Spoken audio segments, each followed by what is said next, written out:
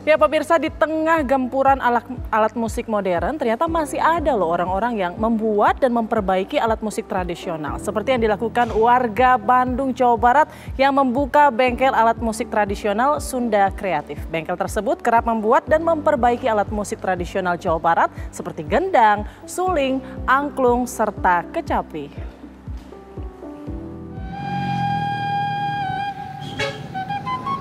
Seperti inilah kesibukan di bengkel Sunda Kreatif yang terletak di Jalan Soekarno-Hatta, Kota Bandung, Jawa Barat.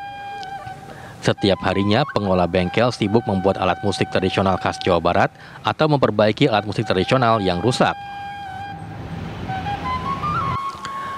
Berdiri sejak tahun 2005 silam, Sunda Kreatif kini masih tetap eksis di tengah gempuran alat musik modern. Bahkan hingga saat ini, bengkel alat musik itu masih terus menerima pesanan sejumlah alat musik tradisional seperti gendang, suling, kecapi, angklung, serta gamelan. Salah satu alat musik tradisional yang banyak dibuat yaitu gendang pencak dan jaipong yang dibuat dari kulit kerbau. Harga alat musik tradisional yang dijual bervariasi.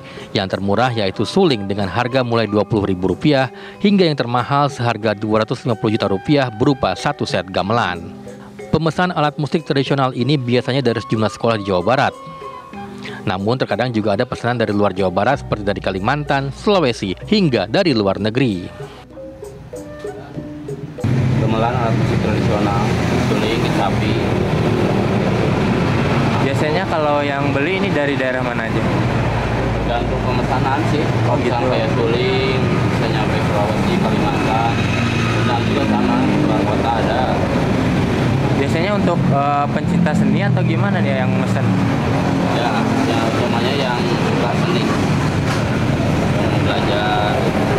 Kalau anak sekolah-sekolah gitu sekolah? Sekolah tergantung gurunya. Tak cuma alat musik, bengkel Bandung Kreatif juga membuat wayang golek dan kerajinan tangan lainnya.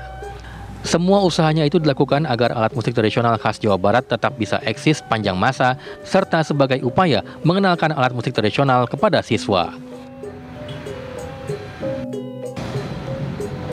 Dari Bandung, Jawa Barat, Cepi Kurnia, TV One mengabarkan.